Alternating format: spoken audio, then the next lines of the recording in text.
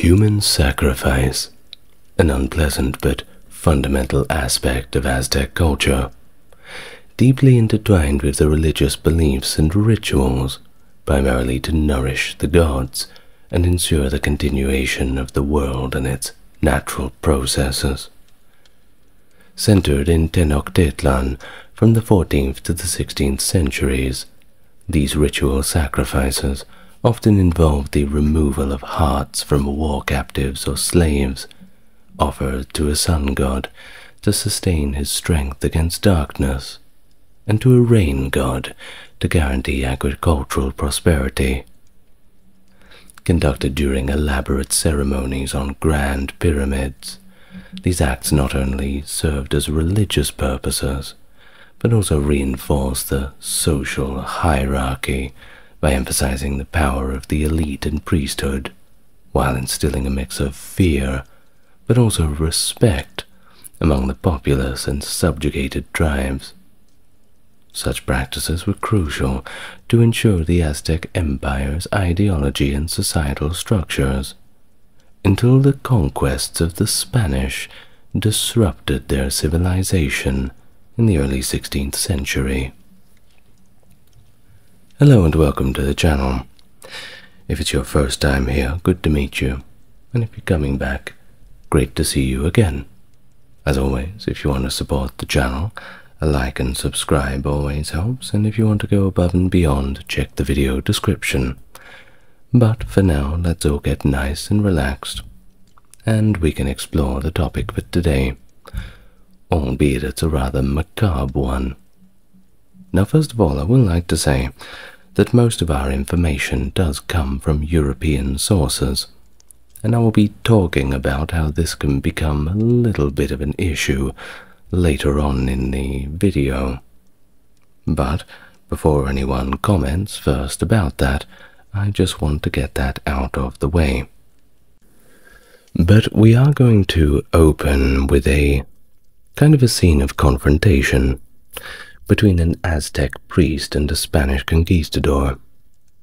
You see, when the Spanish had arrived and observed what was no doubt quite horrifying to them, they insisted that the Aztecs immediately cease from these activities of human sacrifice, to which an Aztec priest had reportedly responded to them as a kind of justification.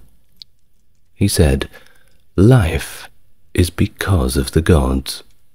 With their sacrifice, they gave us life. They produce our sustenance, which nourishes life.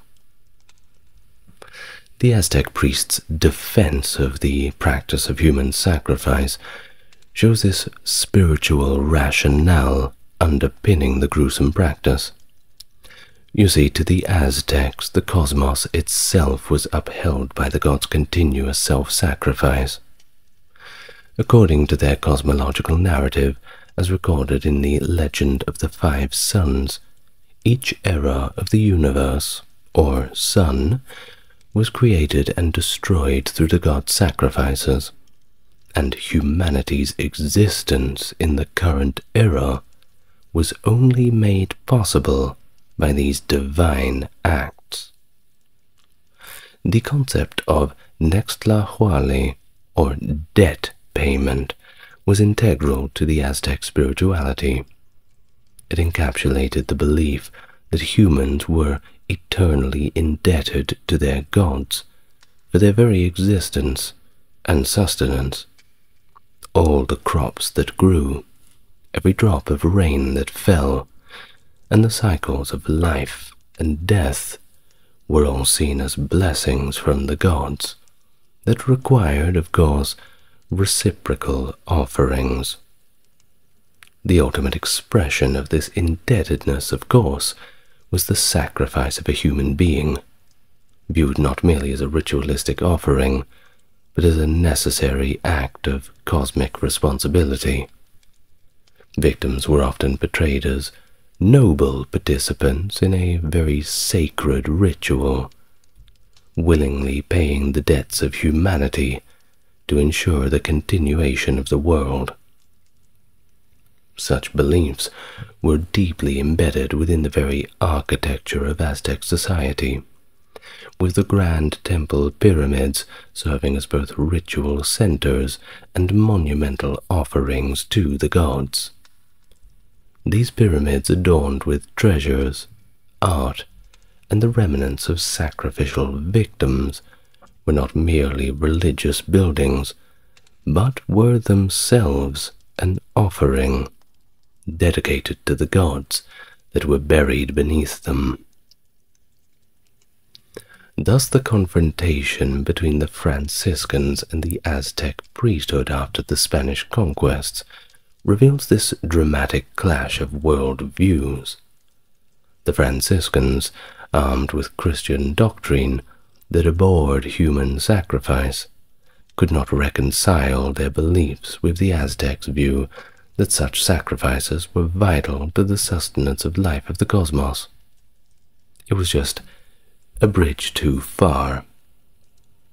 You can see in other cultures of the world, for example, when Christian missionaries at first went to China, there were practices in Taoism and Confucianism that seemed somewhat secular, things that could be reconciled, didn't view them as so monstrous and beastly. But going and seeing what they saw, those bodies tumbling down those pyramids, well, that was just a little bit too much for the European sensibilities. Thus, this profound misunderstanding and the ensuing cultural and religious imposition highlight this tragic consequences of two radically different belief systems colliding. Only one was going to make it. There was no room for compromises. Thus, the multifaceted nature of sacrifice in Aztec society encompassed not only the well documented human sacrifices, but also extended to animals and even self inflicted offerings showing a profound reverence for and dependency on sacrificial rituals. Animals like dogs, eagles, jaguars, and deer were specifically bred for sacrifices, reflecting the importance of these rituals in maintaining the balance and sanctity of the natural world as perceived by the Aztec spiritual elite. These practices were integrally linked to various deities and their associated cults, each demanding a different form of life to sustain the god's favor and vitality, a delicate balance, and each god required something different. For example, the cult of Quetzalcoatl, the feathered serpent, was unique in its requirement for the delicate sacrifice of butterflies and hummingbirds, animals associated with beauty, gentleness, and precision within nature. Now, self sacrifice, involving the offering of one's own blood, was equally significant and pervasive across the strata of Aztec society. This form of sacrifice was deeply personal and was often performed as an act of penance or devotion, embodying a physical connection between the divine and the mortal. The Florentine Codex provides a detailed account of these rituals, including the dramatic imagery of gods like Quetzalcoatl mutilating themselves to sustain or even create new life. This mythic narrative underscores the ideology that divine blood was potent and life giving, a belief mirrored by the actions of the people themselves, who would pierce their tongues, earlobes, and other parts of the body to offer their blood to the gods. The theory proposing human sacrifice as a nutritional substitute due to the scarcity of large game is controversial, but it does highlight the complexities of understanding Aztec sacrificial practices within their environmental and economic contexts. This is a perspective that is not widely accepted, but it does prompt a broader examination of the practical implications of ritual sacrifices, going beyond simply religious or cosmological significance. Debates among scholars about whether these rites served as atonement reflect a broader discourse on the topic.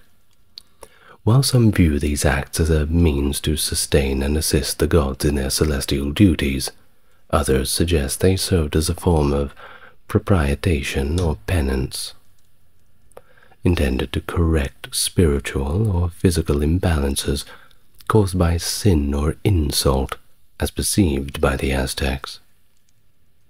Extreme self-punishments for sins, such as hanging or self-defenestration, which basically means to throw yourself off a building, or out of a window if we're going by the typical French, were indeed documented, though the specifics of such practices are sometimes obscure due to gaps in the historical record. Now, the Aztec sacrificial rituals were, of course, deeply embedded in the cultural and religious fabric of the society and they served as a vivid demonstration to their very complex cosmological beliefs and the central role that sacrifices played within them. Each ceremony was thus meticulously planned and executed, no pun intended, often during specific months or significant festivals, and always with a prescribed number of victims and accompanying offerings, which underscored the ritual's importance both to the community and the cosmos. Everybody would get together to watch the sacrifice, kind of like how you get together to watch the cricket. Now, victims were selected based on criteria that match the religious requirements of the deity being honored. This often included warriors captured in battle who were deemed worthy to be offered to the gods. These individuals were not merely passive participants, but were integrated into the community in the days leading up to the sacrifice. They assumed the persona of specific deities, performing duties that ranged from blessing children to engaging in public dialogues and leading sacred processions. This integration was, of course, dual-purposed. It not only honored the deity, but also reinforced the sacrificial role as a prestigious affair, albeit fatal, but one that is still in service to the divine order, all for the greater good and a great honor.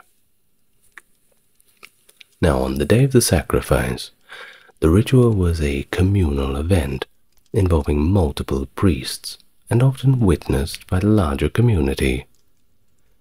The victim, if we can say that terminology, embodying a god, was led up to the steps of the Great Pyramid to the summit, where the temples and the sacrificial altar, or chacmool in their language, were located.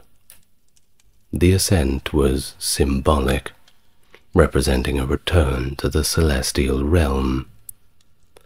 The Chacmool itself, positioned at the top of the pyramid, was not merely a stone slab, but it was a sacred effigy that facilitated the communication between the Aztecs and their gods. Laid upon this altar, the victim was held down by four priests, emphasizing the seriousness and solemnity of the moment. It was the high priest, wielding a flint knife, a material chosen for its purity and sharpness, would then perform the heart extraction. This was believed to release the life force, or the dona, which was considered a vital offering to the gods.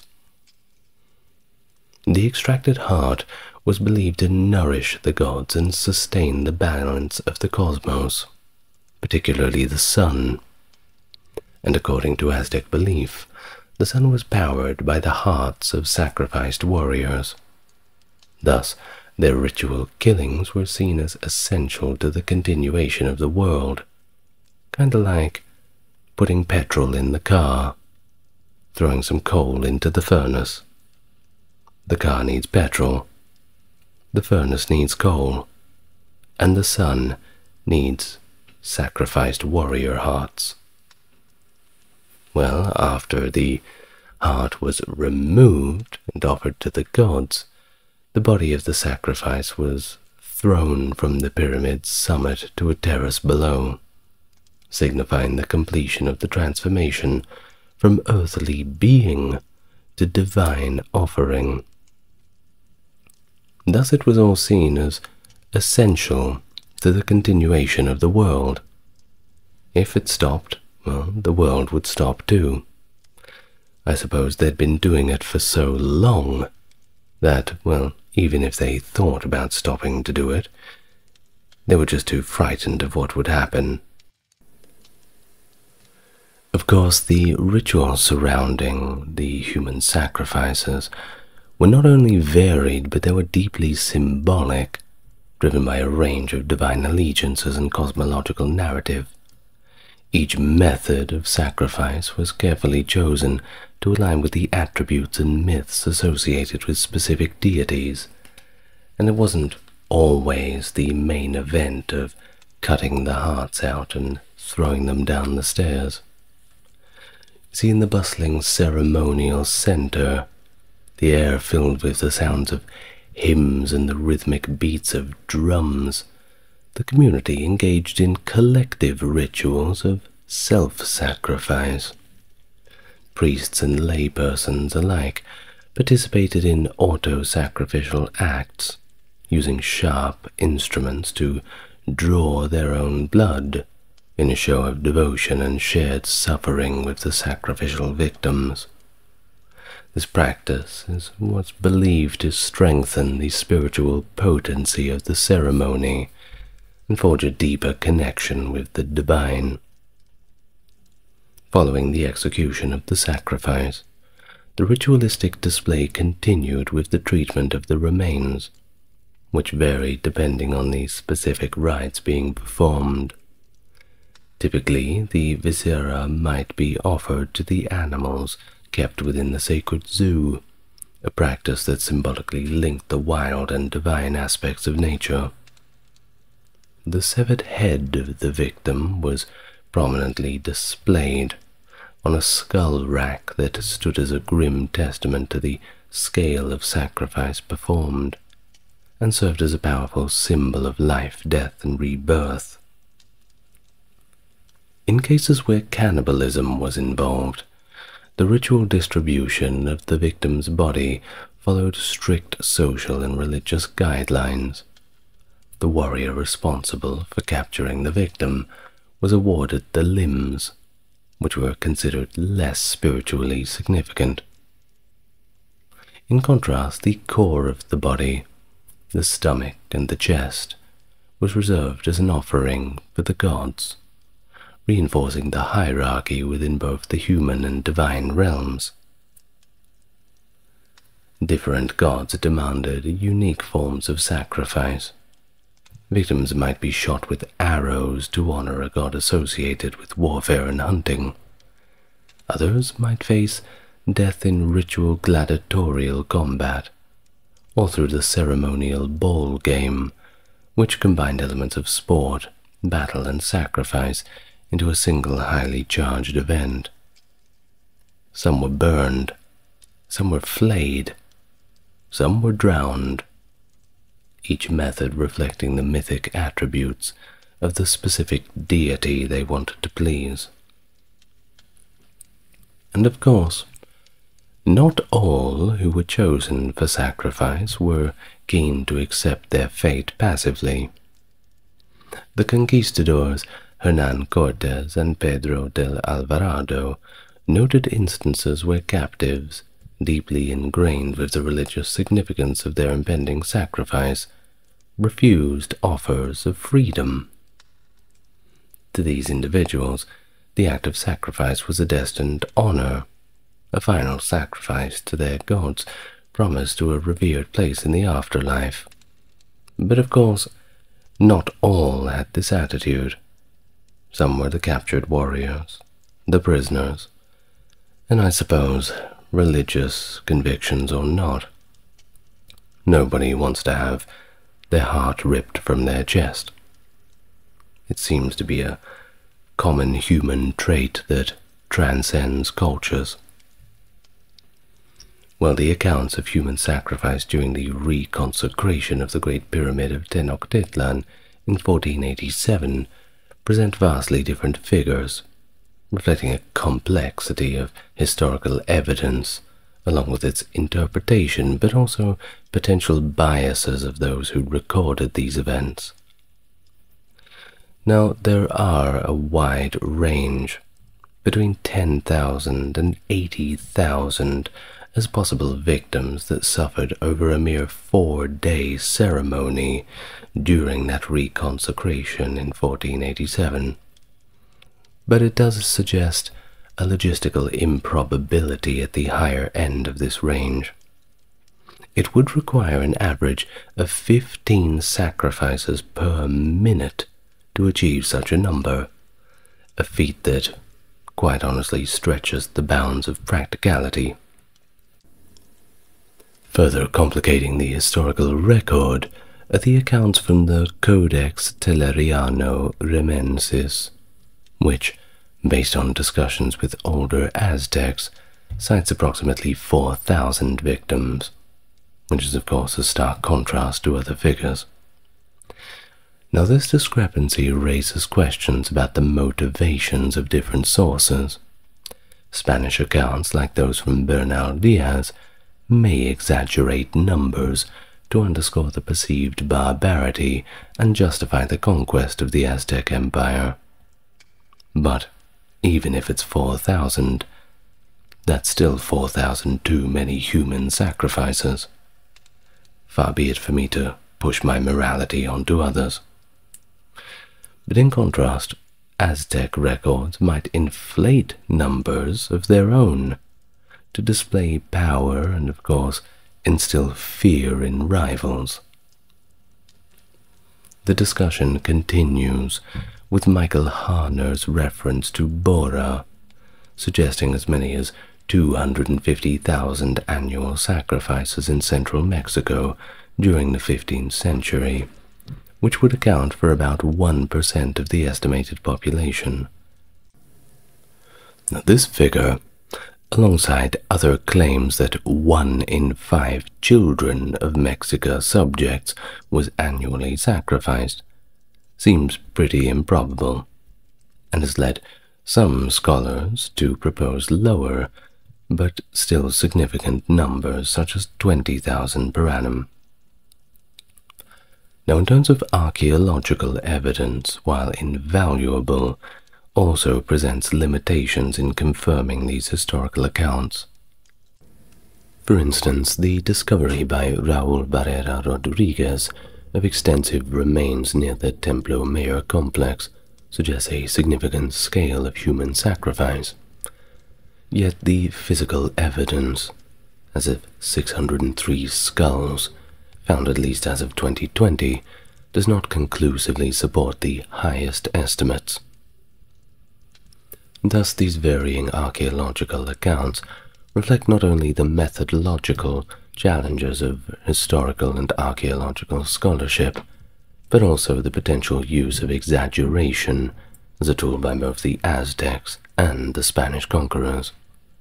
Of course, each group had motives for manipulating the narrative. The Aztecs might have sought to emphasize their power and divine favor, while the Spaniards likely aimed to justify their colonial and religious goals. Every Aztec male was trained as a warrior from a young age, but only those who succeeded in capturing enemies were considered for elevation to that elite warrior class. This requirement shows the significant role that military skill and the ability to provide sacrificial victims played in their society. Collaboration among young warriors to capture a single prisoner points to the challenging nature of this task.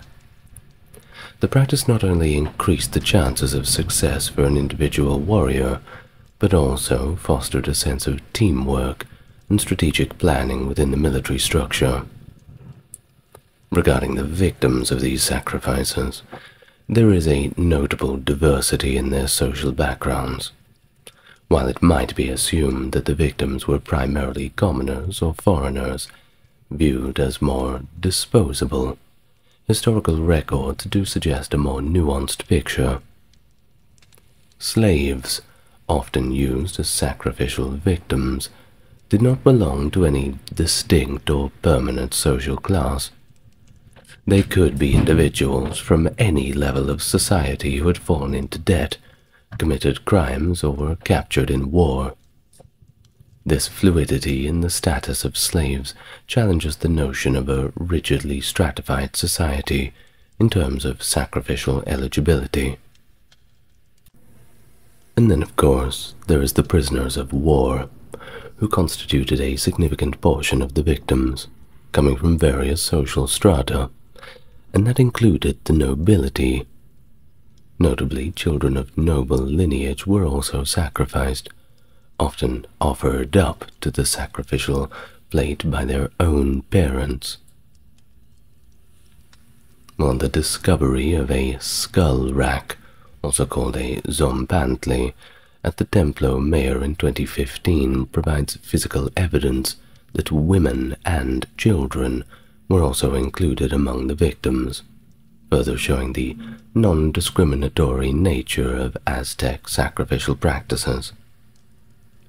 Interestingly, in 1454, an Aztec edict prohibited the sacrifice of captives from distant lands in the capital's temples suggesting a shift towards using individuals who were friends of the royal house, a euphemism for warriors from allied states. This directive might have been influenced by political considerations, aiming to maintain and strengthen alliances with neighboring states rather than alienate them through the sacrifice of their citizens, which of course tends to leave a poor taste in people's mouths. Now, visual depictions of Aztec sacrificial practices are predominantly sourced from the codexes crafted during the 16th century, often under patronage of the Spanish colonizers. This influence suggests that these illustrations may carry European biases, reflecting more about the Spanish perception and interpretations of Aztec culture rather than the Aztecs' own viewpoints. Among these, the Codex Rios, Codex Tudela, and Codex Magliabechiano are paramount among the main sources that we have left. These documents vary in their detail and perspective, but they collectively offer a rich visual narrative of Aztec religious life. But in contrast, surviving Aztec statuary provides a more indigenous perspective on sacrificial rites. These artifacts often focus on the mythological and theological underpinnings of sacrifice rather than on the concepts such as debt repayment.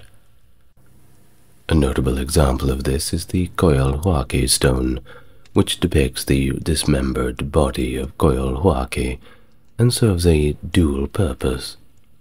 Mythologically, it commemorates the victory over Coyolxauhqui and her allies, underscoring the cosmic justification for human sacrifice.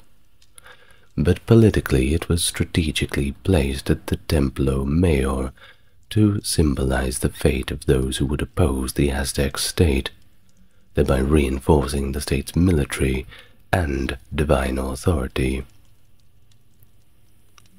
Now, the first-hand accounts of the Spanish conquerors, including those of Juan de Grijalva, Hernan Cortes, and Bernal Diaz, provide additional descriptions of Aztec sacrifices.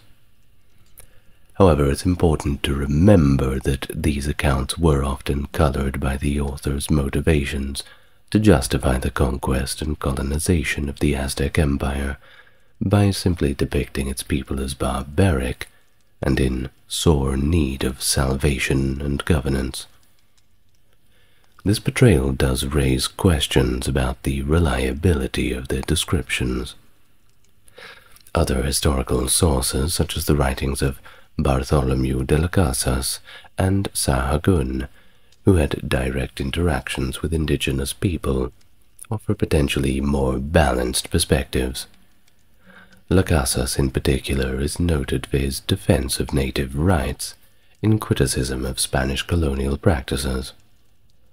Sahagun, through his extensive work with native informants, compiled detailed ethnographic accounts that remain critical to understanding Aztec society. Juan de Grijalva, a key figure in the early Spanish exploration of Mexico, embarked on his expedition in 1518. He was accompanied by Juan Diaz, among others. Diaz, a chronicler of the expedition, later authored the work The Itinerary of Grijalva, a document composed before 1520 that provides a detailed observations from their journey. In this account, Diaz vividly describes encountering the aftermath of an Aztec sacrificial ritual on an island off the coast of Vera Cruz, and it reads as follows. This is from his writings. When we reached said tower, the captain asked him why such deeds were committed there, and the Indian answered that it was done as a kind of sacrifice, and gave to understand that the victims were beheaded on the wide stone, that the blood was poured into the vase, and the heart was taken out of the breast and burned and offered to said idol. The fleshy parts of the arms and legs were cut off and eaten. This was done to the enemies with whom they were with at war. Another account by Bernal Diaz adds to Juan's depiction. It goes like this. On these altars were idols with evil-looking bodies, and that every night five Indians had been sacrificed before them. Their chests had been cut open, and their arms and thighs had been removed. The walls were covered with blood. We stood greatly amazed and gave the island the name Isleta de Sacrificios, the island of sacrifices. Hernan Cortes also writes extensively about the practices of sacrifice that he witnessed. He wrote as following in his journals. They have a most horrid and abominable custom, which truly ought to be punished, and which until now we have seen in no part and this is that whenever they wish to ask something of the idols, in order that their plea may find more acceptance, they take many boys and girls, and even adults, and in the presence of these idols they open their chests while they are still alive, take out their hearts and entrails, and burn them before the idols, offering the smoke as sacrifice. Some of us have seen this, and they said it is the most terrible and frightful thing that they have ever witnessed. We also have another account from an anonymous conquistador, and it goes as following. They lead them up to the temple, where they dance and carry on joyously, and the man about to be sacrificed dances and carries on like the rest. At length, the man who offers the sacrifice strips him naked and leads him at once to the stairway of the tower where is the stone idol. Here they stretch him on his back, tying the hands to the sides and fastening the legs. Soon comes the sacrificing priest, and this is no small office among them, armed with some stone knife which cuts like steel and is as big as one of our large knives. He plunges the knife into the chest, opens it, and tears out the heart, hot and palpitating. And this is quickly as one might cross himself. At this point, the chief priest of the temple takes it and anoints the mouth of the principal idol with the blood. Then, filling his hand with it, he flings it towards the sun, or towards some star if it be night. Then he anoints the mouths of all the other idols of wood and stone, and sprinkles blood on the cornice of the chapel of the principal idol. Afterwards they burn the heart, preserving the ashes as a great relic, and likewise they burn the body of the sacrifice. But these ashes are kept apart from those of the heart in a different vase. The debate over the ecological motivations behind Aztec human sacrifices is one that is highly nuanced. Of course, different anthropologists and historians offer their own contrasting and sometimes contradicting theories. One anthropologist, Michael Harner, suggests that the primary driver for the Aztec practice of cannibalism was a nutritional deficiency in their diet, specifically a lack of sufficient protein. According to him, the Aztecs faced high population pressures and relied heavily on maize agriculture, which of course did not provide essential amino acids. Thus, with limited access to large game due to increasing population and competition with other carnivores, Harner suggests that human sacrifice and the subsequent cannibalism of war captives became a grim solution to this problem. Marvin Harris, Harris rather, supports this viewpoint in his work Cannibals and Kings, suggesting that human flesh was considered an elite food consumed as a reward by the aristocracy to supplement a protein deficient diet. This theory proposes that the ecological pressures of a densely populated agricultural society lacking domesticated animals for meat led to ritualistic cannibalism. But conversely, there are those who challenge these claims, criticizing the foundation of Harner's argument and questioning the reliability of his sources. Ortiz de Montellano points out that the Aztec diet included a variety of protein sources, such as salamanders, fowl, armadillos, and even weasels, which were abundant in and around Lake Texcoco, the Aztecs' homeland. Moreover, he highlights that amaranth, a plant integral to the Aztec diet, was rich in both leaves and seeds that provided the necessary protein. Now, Ortiz de Montellano further argues that the Aztecs' advanced agricultural techniques, such as chinampas or floating gardens, along with a tribute system, did well enough to ensure a good surplus of food resources, which of course contradicts this notion of a protein crisis. He also criticizes Harner's dependence on historical sources from Spanish conquerors which he believes could have been biased to justify certain colonial aspects by depicting Aztec society as barbaric and negative. Now, the whole system of sacrifice in Aztec culture was of course so intertwined that it had become a completely normal thing. No one had really batted an eyelid at the daily spectacle, it had simply been going on for so long, and it was not only a spiritual duty, but evolved into this grand theatrical performance that involved the entire community. Thus it was far from the mere killing of war captives or criminals, but it was a ritualized expression of cosmological beliefs, meticulously designed to maintain cosmic order and communicate with the gods.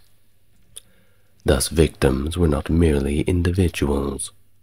They were transformed into what the Aztecs called Teixiptla, representatives or embodiments of gods, taking on the divine persona through elaborate ceremonial dress and behavior. During the numerous Aztec festivals, these chosen individuals, often warriors captured in battle or slaves bought specifically for this purpose, were adorned with the attributes of specific deities, dressed up the best way they could do it. This transformation was both physical and symbolic. It involved costumes, masks, and even the enactment of mythical narratives associated with the gods. This process, of course, culminated in the crescendo of ritualistic death, which was believed to nourish the gods, just like feeding a bird. Now, this concept of netio to quilitzi, which, sorry about my Aztec pronunciation, we didn't learn that in school, but the rough translation is the desire to be regarded as a god, highlights the profound sense of honor and duty that was associated with being chosen as a sacrifice. Now, far from being seen as merely victims, these individuals were revered and honored. Their presence was celebrated with dances, music, and public adoration. Thus, in the year leading up to their sacrifice, they were treated as living deities, a temporary but awe-inspiring status that elevated them above their earthly existence. Diego Duran's historical accounts provide vivid descriptions of how these sacrifice rituals permeated Aztec culture. The use of a victim's skin, particularly in the festival of Xipe Totec, or Our Lord the Flayed One, exemplifies the deep symbolic connection between the sacrificial act and agricultural fertility. The person who donned the flayed skin was believed to acquire divine attributes, a transformation that showed the profound interplay between death, renewal, and the sustenance of life. And such rituals underscored the Aztec belief in the cyclical nature of life and death, where human sacrifice was seen as a vital conduit completely necessary act to ensure their ongoing life. Thus the remains of the sacrificed, whether bones, skulls, or skin, were treated with great reverence and respect, considered powerful relics that held ongoing religious significance. At the apex of Aztec society was the Tlatoani, the emperor, who held absolute power and was considered semi-divine. Below him were the nobles, the Pipiltin, who managed the lands and were closely tied to the royal family through blood or marriage. Warriors held a special place in this hierarchy. Their ability to capture enemies destined for sacrifice directly influenced their social standing and potential for upward mobility. This unique aspect of Aztec culture made the role of the warrior pivotal, as success in battle was one of the few ways individuals could achieve greater status and recognition. The importance of bravery and honor in the context of sacrifice was paramount. Those chosen were simply expected to joyously embrace their fate with courage and dignity. If a captive showed fear or reluctance, it reflected poorly on their character and status, and they were subjected to a dishonorable death. This not only affected their legacy, but also their supposed journey in the afterlife. Aztec beliefs held that those who died honorably in sacrifice or battle ascended to a higher form of heaven, whereas those who died less noble deaths faced a more perilous and demeaning afterlife.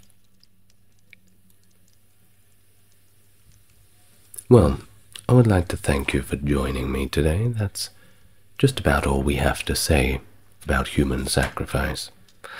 Of course, it all came to an end, but the empire had to come crashing down eventually. Well, I suppose that is a topic that needs its own video.